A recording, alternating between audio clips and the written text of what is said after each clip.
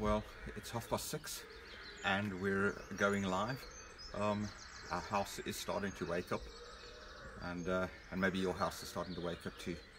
So what we'll do is we'll just wait a few minutes and see who joins us. Uh, but this one won't be um, like Holy Communion on Thursday evening where we had to delete afterwards. Uh, but rather we're able to save this one and this one will stay uh, online. Hi Diane, lovely to have you with us. And uh, who else is joining? Joanne is there as well. So we've got two of us together, three of us together. and Hopefully others will join, but um, but that's not a problem if they don't. This can be watched later uh, on our Facebook page and also on our YouTube page. Um, I don't know if you can hear uh, all the uh, birds in the background. Um, there's a there's a big tree uh, down there in that distance over there where all the crows seem to sleep at night, so they're obviously waking up as well. Hello, Mom. You're joining us too. so uh, and Paul. Hi, Paul. Good to have you with us. Waking up so early. Hi, Joy. Uh, certainly an early, early morning for well, certainly for us. Um, I don't think it's very often that we're up this early when it's not um, a school day. Michael, lovely to have you with us this morning as well, uh, joining us. Uh, so, so I'm standing here out uh, out the back of the manse. If you're wondering where I am, uh, I'm uh, I'm on the roof of the uh, of the bathroom. So at this stage, we're broadcasting from the top of the bathroom. Um, hopefully, this roof is sturdy. We might be broadcasting the rest of it from the bathroom itself, depending on how strong this roof is. But hey, our cat comes out of it, so if, if, it's hold, strong enough to hold our cat, I'm sure it's strong enough to hold me. It's good to have you with us. It is Easter morning. Um, it is the day that we remember and celebrate the risen Christ. And uh, the sun is, um, well, it's not starting to appear just yet uh, in the sky. It's, uh, it's a bit cloudy and overcast, but hopefully we will see some of a sunrise uh, this morning. It, uh, it reminds me of, of the 1st of January 2000 uh, after celebrating New Year's Eve on the 31st of December 1999. Um, I don't know how many um, of my family remember us heading down to uh, watch the sunrise uh, from from the Donkin in Port Elizabeth, which is a big hill in Port Elizabeth overlooking the bay. We went down to go watch the sunrise on the 1st of January 2000, only for it to be overcast and us not see the sun at all. Uh, Dorothy, Nadia, lovely to have you with us as well. Um, good of you to join us. So we're going to, to make a start uh, with things. Um, Roberta, good morning to you, Roberta. Lovely to have you with us as well. And uh, I wonder if Lowry is awake too, or if he is still in bed. But if you're with us too, Lowry, lovely to have you uh, with us too. Let's just hear words uh, of a hymn. See what a morning gloriously bright, with the dawning of hope in Jerusalem folded the grave clothes, tomb filled with light, as the angels announce Christ is risen. See God's salvation plan, wrought in love, born in pain, paid in sacrifice, fulfilled in Christ the man, for he lives. Christ is risen from the dead. What beautiful, beautiful, lovely words uh, that remind us that this is a beautiful and bright day because Christ is risen and Christ is with us. Let's, let's pray. Loving God, as the sun rises behind us, we are reminded that the sun is risen. Christ is alive. And when we last met and spoke with each other um, through uh, the internet, uh, we remembered the death of Christ. And Saturday was a quiet day. Saturday was a day uh, where there was confusion and uncertainty uh, of what would happen. And on this morning, uh, as the women went to the tomb, as the disciples woke up, they did not realize what today would happen, what today would bring to them. But God, we know. We know that in spite of what we remembered on Friday, we know that in spite of the stillness of Saturday, Christ is risen. Not just today, but every day since that first Easter morning. And so we come and we celebrate in our tiredness, um, eh, with the sleep in our eyes and, and our voices not quite yet uh, to the level that they should be. Uh, but we come and we lift up our hearts uh, in praise to you. Even if we can't lift up our voices, we lift our hearts and our lives up in praise to you, God. And so I pray that as we wake up on this Easter morning, as we start to emerge from our bedrooms and from our homes and, and, and we start to go about the things um, that we would normally do today as our children open up their Easter eggs and we start to eat things like that. God, may we never forget um, that you are risen and you are the source of our life and our joy. And, and so we praise your name, Lord. And, and we remember uh, what the words uh, of that hymn say. Uh, this is God's salvation plan. It has been wrought in love, it is born in pain, and it has been paid in sacrifice, fulfilled in Christ the man. And he lives. Christ is risen, and Christ is risen indeed. And so we praise you on this Easter morning. And we pray this in the precious name of the risen Saviour, Jesus Christ our Lord. Amen.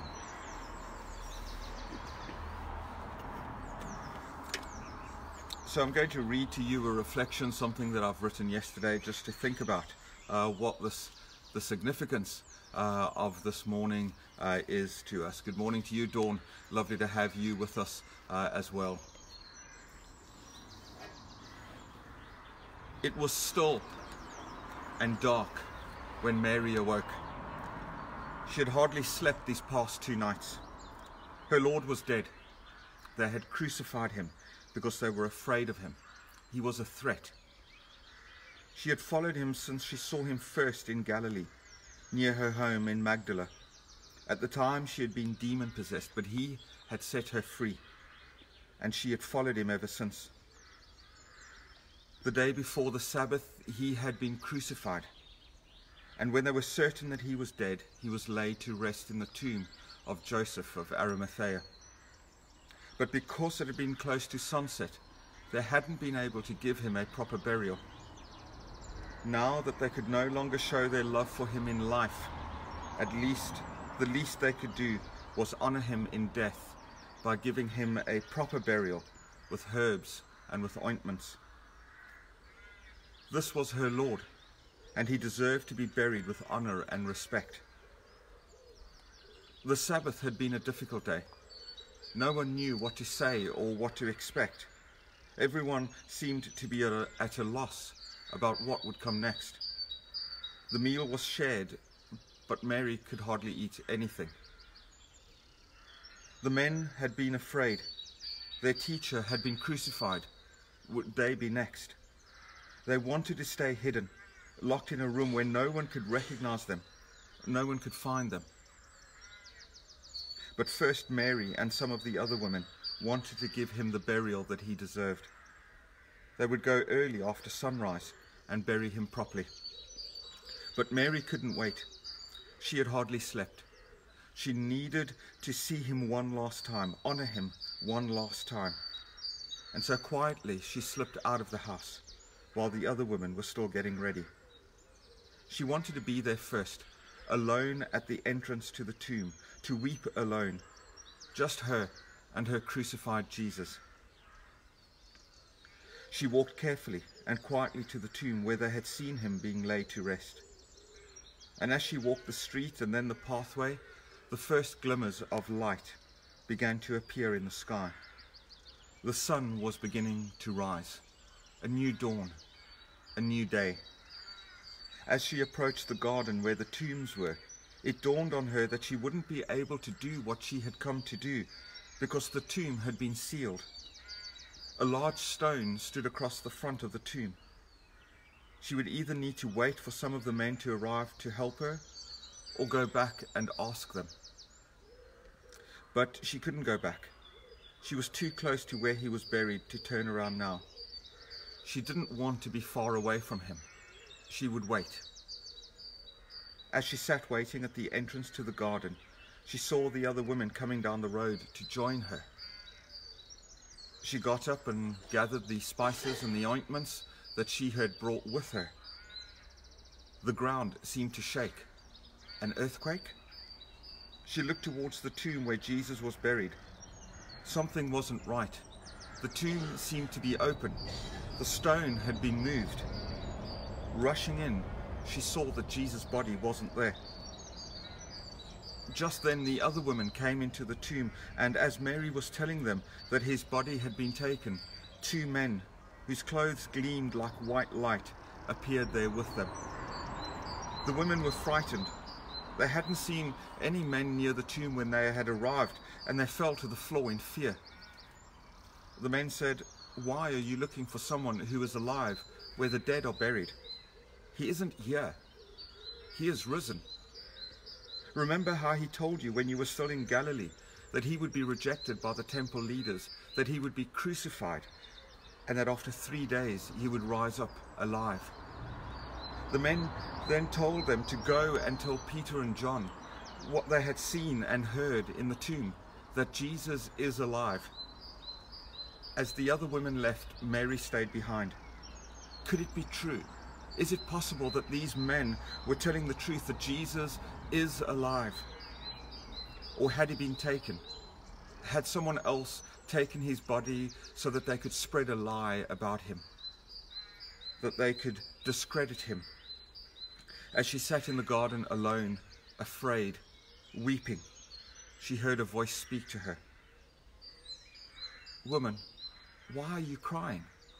Who is it that you're looking for? Confused, she answered, Sir, if you have taken him somewhere, tell me, and I will go and find him, and I will bring him back. But instead of answering her, he simply said, Mary. At the mention of her name, she knew. She knew that it was him. Rabboni, she said, which means teacher in Aramaic. It was true. Jesus is risen from the dead. As the Bible reveals the events that unfold in the coming hours and the coming days, we notice as the news spreads amongst Jesus' followers, there is a common. All right, so we're trying to reconnect. Hopefully, we're back on again. There we are. Okay. As the news spread amongst Jesus' followers, there is a common theme a disbelief and uncertainty about what they're hearing. When the women tell the disciples that the tomb is empty, they had to go and check for themselves. An empty tomb, unwrapped linen. Jesus certainly wasn't in the tomb, just as the women had said. But still they're not sure. Still they're afraid. They're still locked in the room when Jesus comes and appears to them. But not all of the disciples. They see him. They see the wounds in his hands and in his side, and they believe. And then they tell Thomas, one of the disciples who wasn't there when Jesus had appeared to them. But Thomas doesn't believe them. Thomas, our Bible tells us, is sometimes known as Didymus, which means twin. Perhaps Thomas, more than any of the disciples, knows that just because someone looks like a person doesn't mean that they are that person. Perhaps he had often been confused with his twin when he was growing up. Perhaps he still is.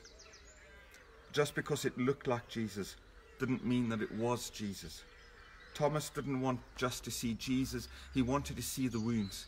He wanted to see the evidence that this was the crucified Jesus. And so a week later, we are told Jesus appears to Thomas and shows him the wounds in his hands and in his side. And Thomas believes. The risen Jesus is the crucified Jesus. Jesus, dead just a few days ago, is alive. There is a pattern on that first resurrection day uncertainty, fear, and confusion. There were people talking about Jesus being alive, sharing the news of what they had seen and what they had heard, but still there was disbelief. In conversations that I had with some of our young people uh, about the resurrection, uh, in the confirmation classes that we were having before everything had to come to a stop, I told them that the empty tomb, that the rolled away stone, the empty uh, linen cloths uh, were not evidence that Jesus had risen. They were simply evidence that the tomb was empty. Any number of things could have happened to Jesus' body that morning. The evidence of the risen Jesus is found in the people's experience of the living Jesus. They encountered him and they spoke with him. And in that moment of meeting with the risen Jesus, they knew that it was true, that Jesus had been raised from the dead. And what about you? In this time of uncertainty, in this time of confusion and of fear, more than ever on platforms like Facebook and YouTube and Twitter uh, and Instagram, people are talking about God and people are talking about Jesus. Do you believe? Do you believe that when we say that He is our comfort and our strength in these times, that it is true? When we say that Jesus is risen and He is alive and He will never leave you or abandon you, do you know that? Not just with your head, but with your heart. The existence of God as a God of love and compassion and comfort and strength cannot be proven by a scientific formula or an intellectual debate or even a well presented sermon. We know that God is real, that God loves and comforts and strengthens us when we experience His love and His comfort and His strength. I know that Jesus is risen not because of an empty tomb. I know that Jesus is risen because I have encountered the risen Jesus. On this Easter morning, as we go through the same emotions that those first disciples were experiencing fear and anxiousness, confusion and uncertainty because we don't know what the future is going to look like. There is a risen Saviour who wants to give you hope, no matter what the future brings, because he will be with you through all of it. That you will know that he is risen because you experience him every day, in the good times and in the bad times. As the sun rises on this morning, in the light of the new and the light of the new day breaks into the darkness of the night, know this. The sun has already risen. His light shines in the darkness, and the darkness cannot overcome it. But know it not because I've told you that it's true. Know it because you know it's true. Not just with your head, but with your heart. Jesus is risen, and Jesus is alive. Let us pray. Loving God, what incredible news. What an amazing thing to wake up to. What an incredible truth to wake up to on this Easter morning that Jesus is risen and Jesus is alive. And as the light starts to break into the darkness of the night, we hold fast and we hold hard onto the truth that Jesus is alive and his light shines even in the darkness of this coronavirus, even in the uncertainty of how long things will go on for. Will things ever be what they once were? Will they ever go back to the way they were? And in some areas, Lord, we pray that it won't. And in other areas, we just want to be back together as a community of people. We cannot wait to step into that building that is standing here alongside me. Not because we want to be in the building, but because we want to be together in a place where we know that you are present and you are with us. And it's a place where we come to bring you our praise. But God, the truth of Easter morning is that even though we cannot enter into that building, you are still with us wherever we are. And even though we are separate in our homes, still we are together and one in Christ Jesus. And so, God, I thank you for the message of this Easter morning. Christ is risen, Christ is alive, and not even death can overcome the power and the strength of God.